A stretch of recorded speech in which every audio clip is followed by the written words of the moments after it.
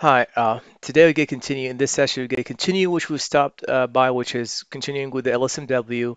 And uh, once again, we use the LSMW to actually migrate master data or any transaction from a legacy system into a SAP system. So to continue with that, so we've actually created by the recording. So we've done the recording in this step. Then we created here the source structure. Then we went to the object overview. We get all the information that is needed for the source structure, which is actually the fields that is coming from the recording. Then we've actually populated all the fields in here. Now we just want to maintain the structure relationship, meaning the recording with the, uh, we call the recording CST, CST1, I guess. We're going to maintain the recording with the with the source structure. So this we call it relationship. So that's why the system actually took us to this step. So let's go continue with this really quickly.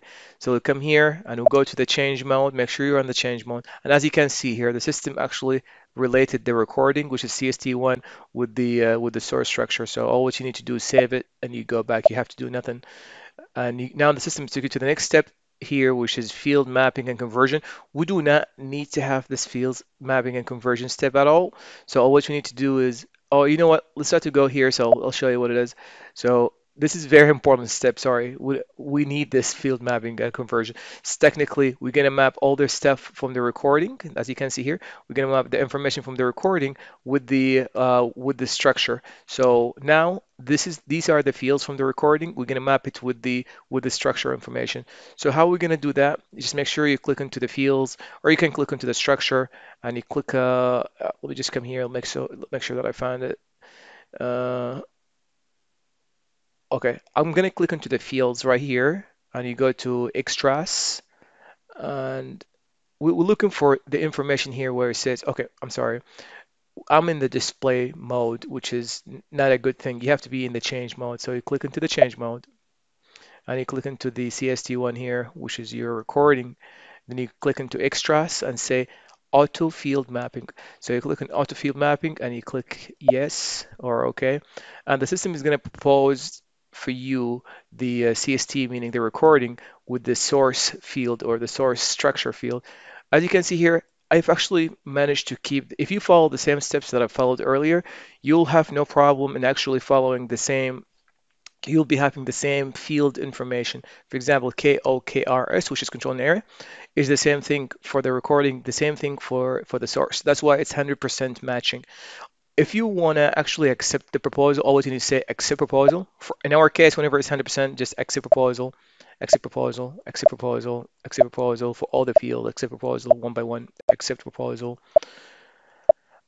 for all the fields. So once you're done from all the fields, you say yes, okay. As you can see here, the system now is mapped the recording with the structure, with the source structure, and you click save.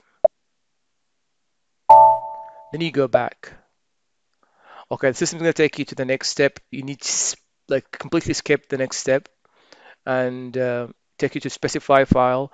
And you click here, you come into the file, make sure you're in the change mode. You are in the display as of now. As you can see here, it says display. You click here for the change mode and double click into the, the legacy data from PC. That means the upload file, we wanted to bring it from our computer.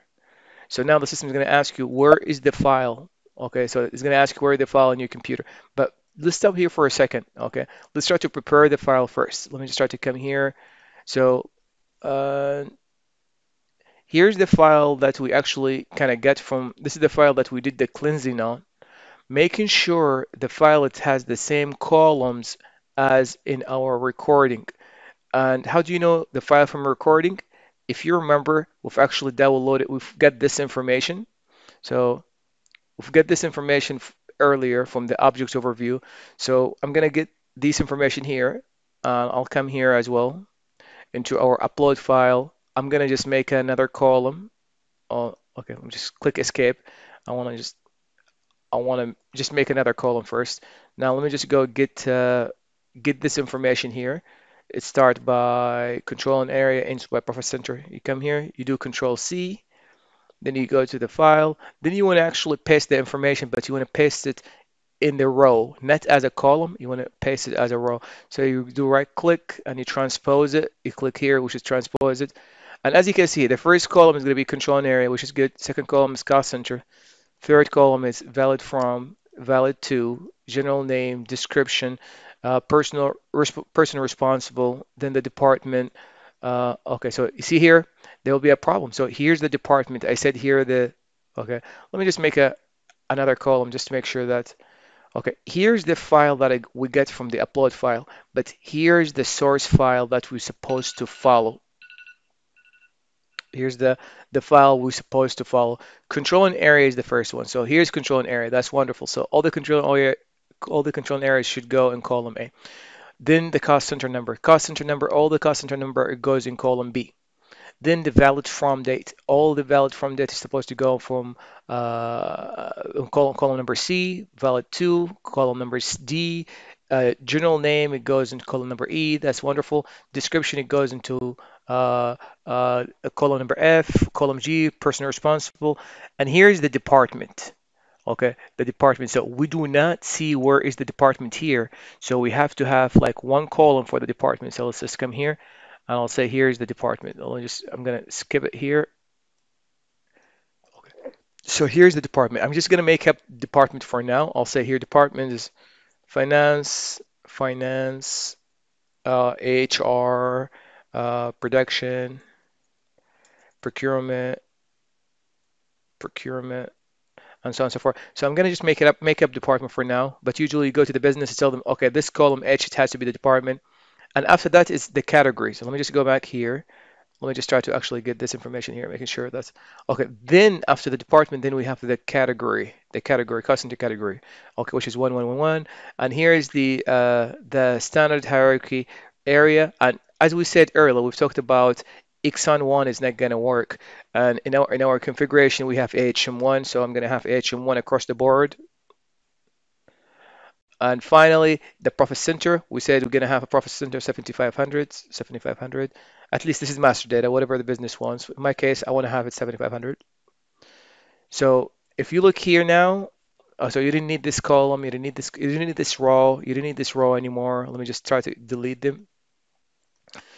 So you work with the business, you need to make sure that they have the same information within this arrangement how do I know this arrangement? Meaning the first column is control and area, the second column is cost centers, and, and so on and so forth.